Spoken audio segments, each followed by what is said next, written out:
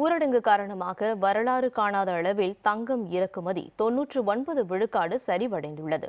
உலக அளவில் தங்கம் இறக்குமதியில் இந்தியா முதல் இடத்திலும் சீனா இரண்டாவது இடத்திலும் இருந்து வருகின்றன. இந்தியாவில் ஆண்டுக்கு ஏறத்தாழ தொள்ளாயிரம் டன் தங்கம் இறக்குமதி செய்யப்படுகிறது. இந்தியாவில் இறக்குமதி செய்யப்படும் தங்கம் மற்றும் வைரங்கள் மதிப்பு கூட்டப்பட்டும் ஆபரணங்களாக மாற்றப்பட்டும் ஏற்றுமதி செய்யப்படுகின்றன.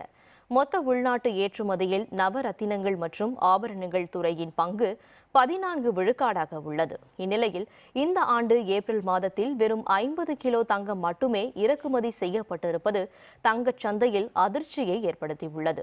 சென்ற ஆண்டின் ஏப்ரல் மாதத்தில் நூற்று பத்து டன் இறக்குமதி செய்யப்பட்டிருந்த நிலையில் ஊரடங்கு காரணமாக தொன்னூற்று ஒன்பது விழுக்காடாக தங்கம் இறக்குமதி வீழ்ச்சியடைந்துவிட்டது. ஆனால் கொரோனா பேரிடர் காலத்திலும் ஊரடங்கு அறிவிப்பதற்கு முன் முன்பிருந்த விலையை காட்டிலும் தங்கம் விலை பன்மடங்கு உயர்ந்திருப்பது குறிப்பிடத்தக்கது.